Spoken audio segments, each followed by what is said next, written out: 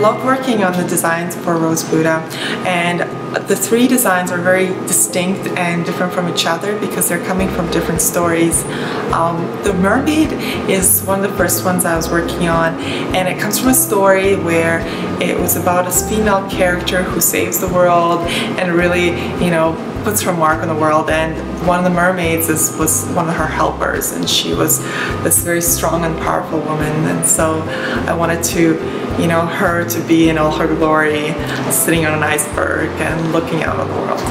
and the next design I was working on was uh, inspiration of the West Coast and it was a sort of a merge between bringing West Coast to the East Coast and bringing the animals uh, together. We had um, deer in, in the design with you know the moon and the, the, the trees, the evergreen trees and it was this sort of merge between really simplifying the design, going to black and white and making the, the story tell itself as you look around the leg. And the third design is this two lovers, um, these, these two swans who are completely embraced in each other and really kind of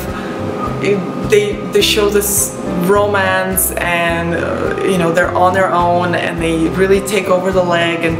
very gentle design and this the colors are all all very subtle and there's this some characters come in this in this pond and you can really as you as you look deeper into the image you can kind of see take little aspects of the tattoos they have on their neck of the swans and you really start to read into their own the story between the two characters.